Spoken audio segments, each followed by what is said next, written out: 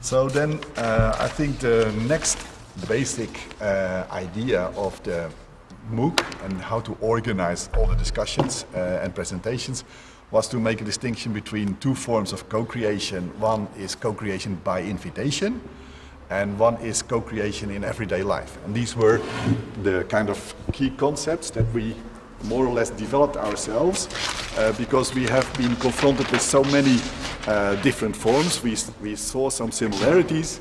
Uh, whenever uh, people were asked to do something uh, as a co-creator. So they were invited by companies or by governments uh, or by their neighbors or the local energy corporation to just start thinking about how to improve the energy system and we just kind of um, made a distinction with uh, this formal, kind of organized forms of co-creation on the one hand, and the kind of informal, uh, non-organized forms of co-creation, and we call that co-creation in everyday life.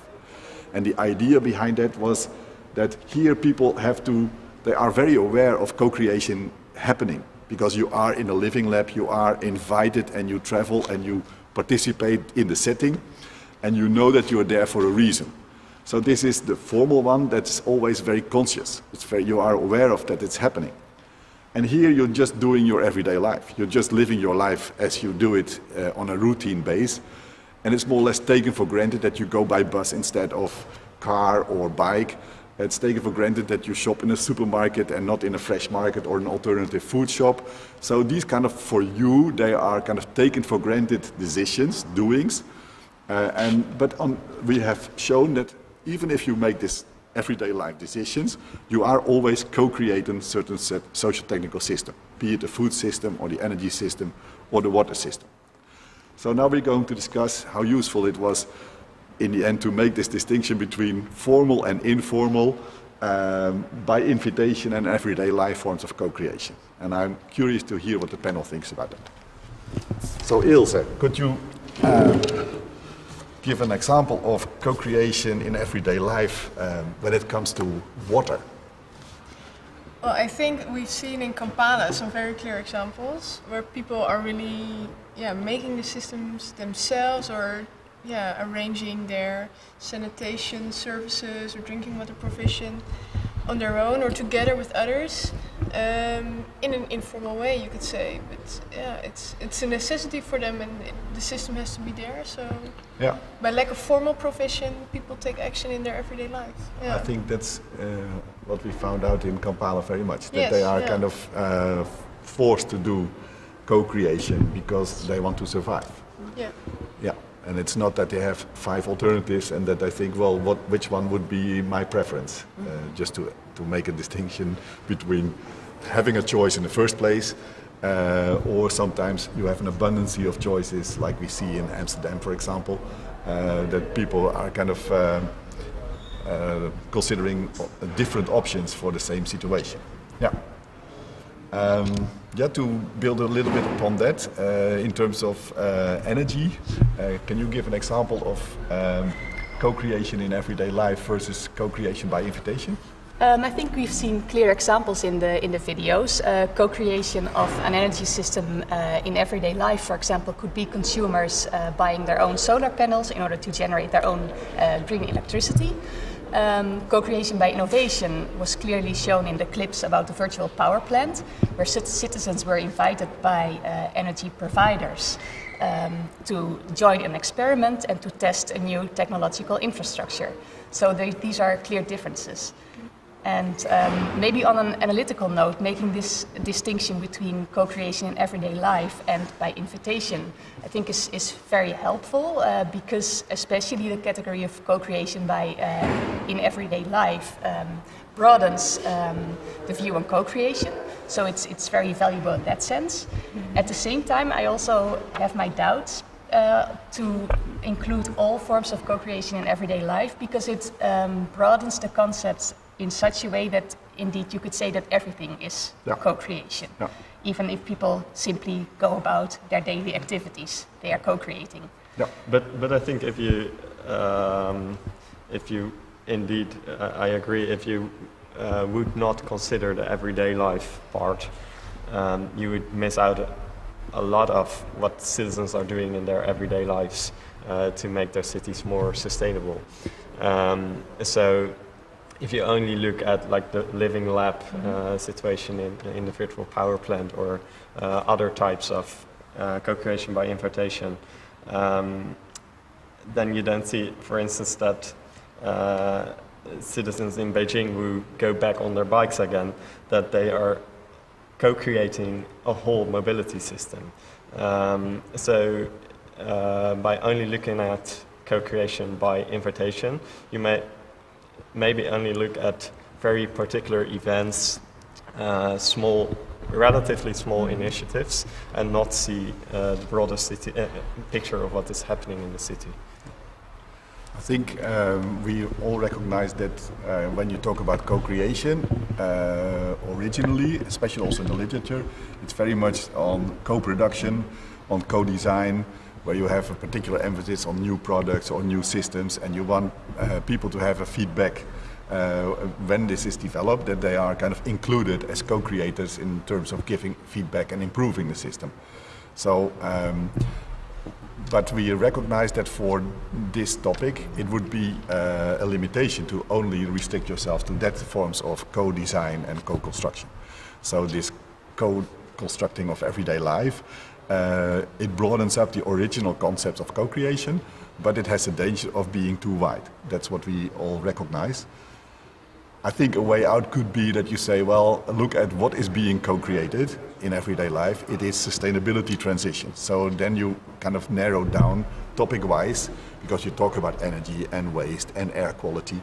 So that gives a kind of um, uh, more narrowing down of your, your topic. Yeah. Also, uh, I've just a small addition. Also, in the design world, at least where I come from, you see that there's a, a shift going on for designing for co-creation, and whether indeed for co-creation by invitation, one would say, inviting people to think about processes, but also inviting.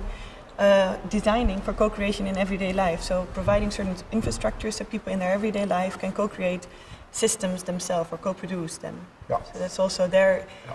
The different, maybe different wording, the same, the same uh, distinctions are made. Yeah, I can see. So, so in this co-design uh, literature and tradition, uh, originally people were kind of in the laboratory and thinking with scientists about innovation. And then we built kind of uh, experimental homes, and we want people to live in that the experimental homes and to report on that. And now we are thinking about co-creation of everyday life from an engineering or organized perspective. Yeah, they call yeah. it infrastructuring. Yes. yeah. So, so there is this kind of uh, development of the concepts in, in in the literature as well. Yeah. So that about um, these two forms of uh, making a distinction between different forms of co-creation. Well, if we then uh, combine these discussions, mm-hmm. so um, and that's what we already prepared, of course. And then we end up uh, with a lot of question marks of how helpful these distinctions are. But um, this uh, schedule is a kind of a first theoretical lens, we could say, to just um, make categories in the multiple forms of co-creation that we have been um, uh, seeing happening in the MOOC. So there were so many different forms of co-creation that there was this need to think about how can we make some more major distinctions among categories. So we have co-creation of city politics, and here we have both the formal and the informal, the by invitation and the spontaneous one. And co-creation of social technical systems. Again, the formal, the organized ones, for example, in living labs on improving the energy system, and the informal ones, people just doing their everyday life and, as a consequence, co-creating certain food systems. Maybe um, this is a very abstract theoretical discussion we had so far. I think it would be relevant if we now just uh, go and pick one or two examples that have been discussed in the MOOC uh, and that we say, well, for these reasons, uh, I would say that's an example of this one, or it's an example of that category. Uh, let's see what happens if we start to uh, come down from the theory to the more empirical examples. So, who is willing to bring the first example? Well, if we look, for instance, uh, to air quality and we take Amsterdam, uh, we have seen a very clear example of a uh, social technical system that is uh, formal. So if we, if citizens start to measure air quality themselves, this is clearly a, a formal social technical system. So it would belong to, well, I can write it down. Yes. So this is the example we have seen of, of the WAAG system.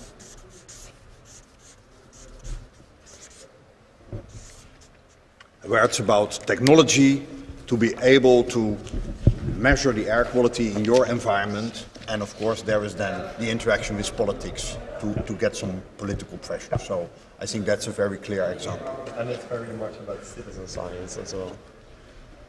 Yeah, we see similar things actually in the Water Week uh, with different apps, for example, where people can contribute uh, by measuring flooding or by uh, using the personal weather stations to contribute to rainfall measurements. So I think it's Go and similar. write it. and it could be, uh, So what would be the catchword there? Uh, so Waag Society was kind of what, what, what people will uh, recognize when they have seen the video clips. So what are the names in the water sector? I would uh, refer to the, to the weather app that we've seen. And also, uh, what was it called? Rain sensing, Yes, yes, indeed. another Yeah. one. Uh, so this is air quality and water. Um, I think you can look at uh, mobility to see an, uh, really another form of co-creation, uh, co-creation of politics. I will write it down. Um, so, uh,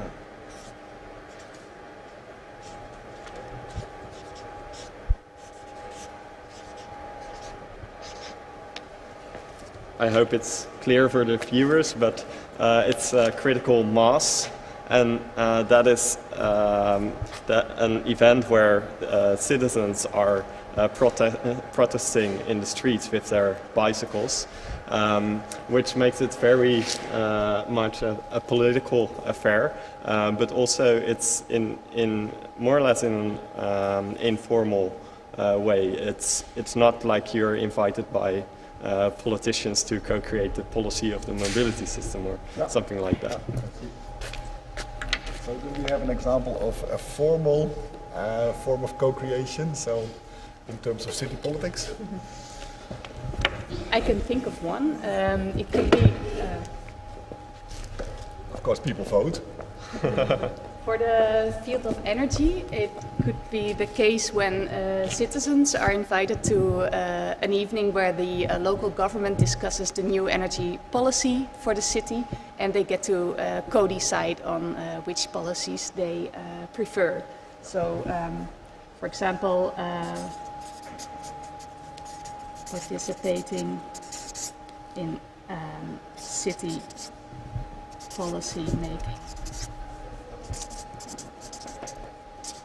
on energy.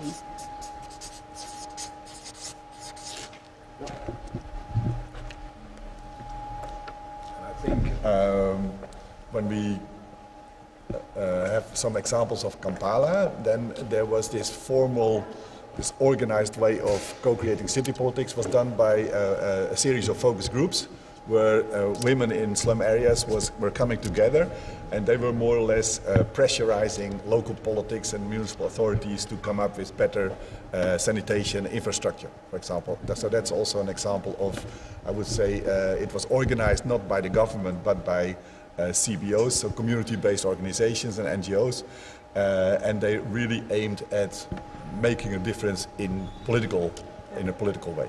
Yeah. Okay, so then the last one. Yeah, uh, Jotte, you will come up with a- informal co-creation of social technical systems. yes, well, of course. I mean, uh, in Vietnam, we saw in the previous clips that there is also was the formal uh, co-creation of social technical system by local SMEs invited uh, customers to join. I think, but you have a lot of informal co-creation as well by the citizens in Hanoi. Because they are dissatisfied with the current food system and they start growing their own food and Yeah. urban farming Yeah, that we also see here. Yeah. I'm stuck.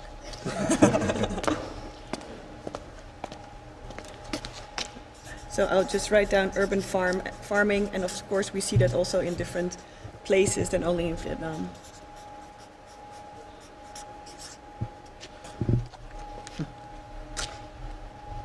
Okay.